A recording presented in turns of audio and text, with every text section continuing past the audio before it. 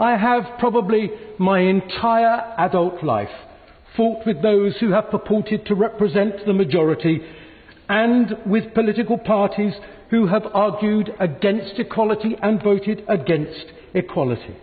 And every step of the way, especially when I lost, I redoubled my efforts in that fight for the right to be heard and the right to equality. I didn't give up then despite the defeats, and I am not going to give up now, my lords.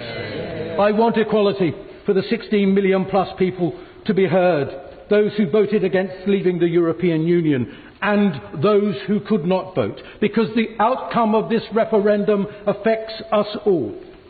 I want them to be heard because, too, my Lord, my voice is amongst them.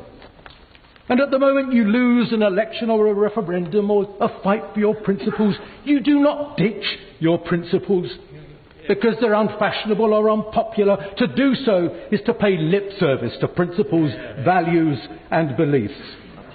Worlds are changed, my lords, for the better by people who have the courage to be unpopular and to do what is right and good and just and decent for the long term.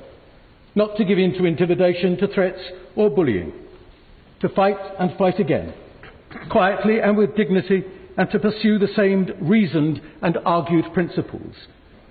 My lords, that is exactly what the anti Europeans have been doing for decades, and if it was right for them, it should be right for other opinions now.